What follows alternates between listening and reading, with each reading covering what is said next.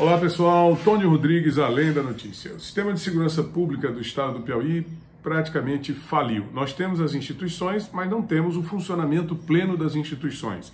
E isso não se deve, é claro, às pessoas que integram, às pessoas que compõem instituições como Polícia Militar, Polícia Civil. Isso se deve ao comando, isso se deve a uma política de governo do Estado, que infelizmente não privilegia a segurança, não privilegia os investimentos em equipamentos, em melhores condições de trabalho, em salários, em convocação através de concurso público de novos policiais militares, mas também e sobremaneira do setor de inteligência da polícia. O resultado não poderia ser outro. Eu tenho aqui uma matéria que foi publicada pelo site rp50.com.br, é o repórter.50, onde ele afirma o seguinte: foram 16 assassinatos em 12 dias na cidade de Teresina. 16 assassinatos em 12 dias é, um, é uma afronta à dignidade de qualquer comunidade. Ele parte da premissa de levantamento realizado na própria página do RP50, onde ele compila a série histórica dos 12 dias com as matérias, como por exemplo, dois homens assassinados em Teresina ao mesmo tempo, um na zona sul, outro na zona norte. Homem é morto com oito tiros na cabeça na zona norte de Teresina. Suspeito de assalto é perseguido e morto na zona sul de Teresina. Homem é morto com um tiro na cabeça no bairro Anita Ferraz, em Teresina. Homem é morto e outro baleado no Parque Universitário, em Teresina. Baleado no Parque Universitário morre no HUT, em Teresina. Homem executado a tiros dentro do mercado do bairro Satélite. Homem assassinado dentro de oficina no bairro Água Mineral.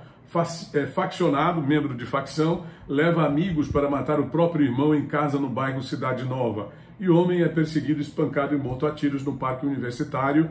A mais recente, baleado no Mocambinho, não resiste e morre no HUT, que foi esse jovem Lucas Pereira Silva, mais conhecido como Papil. Lucas Pereira Silva, mais conhecido como Papil, foi alvejado com quatro disparos de arma de fogo por volta das sete da noite de sexta-feira, 29 de julho, em frente ao posto de saúde do loteamento Mucambinho, na zona norte de Teresina. Ele não resistiu aos ferimentos e morreu já por volta das 22 horas e 30 minutos. Não tenho ficha ainda do Lucas Pereira, do Papil, não sei se ele era elemento integrante de alguma organização criminosa, se ele fazia de algum, de algum modo parte de organização. Sei que ele foi morto a tiros.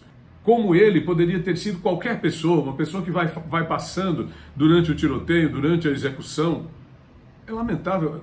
As armas, mais uma vez eu questiono aqui, como é que tantas armas circulam em Teresina? Como é que tantas armas circulam em cidades outras do estado do Piauí? Como é que as armas circulam nas mãos de bandidos de uma cidade a outra? Ou até mesmo entram no estado para reforçar o plantel desses faccionados, desses integrantes de organizações criminosas como o PCC, como o Comando Vermelho, como o Bonde dos 40 é justo que o sistema de segurança se submeta aos interesses políticos de uma organização partidária, que também pode ser encarada como uma organização criminosa? É justo que os interesses do cidadão piauiense, porque quando se diz cidadão, se está falando em pagador de impostos, em pessoas que trabalham e que contribuem para que o Estado devolva essa contribuição através de serviços públicos de qualidade, como a segurança pública? Continue financiando campanhas eleitorais milionárias de pessoas que estão no poder apenas por estar, mas que não querem devolver absolutamente nada desses impostos que estamos pagando? Então, tá aí. Foram 16 assassinatos em 12 dias em Teresina e isso mostra mais do que nunca a falência do nosso sistema de segurança pública. Para finalizar, o monitor da violência já havia identificado que nós temos o pior desempenho do Nordeste na redução dos índices de violência e criminalidade. Eu digo nós, o Piauí, tá? A redução foi abaixo dos 12% preconizados em nível nacional. O Ceará, aqui vizinho, conseguiu reduzir de 48% a 59% os índices de violência e criminalidade. Enquanto isso, nós tivemos a menor redução de mortes violentas, apenas 0,1%. A realidade que nós temos é essa aqui: menor redução dos índices de mortes violentas e nada mais, nada menos que 16 assassinatos em 12 dias em Teresina. Tony Rodrigues, além da notícia.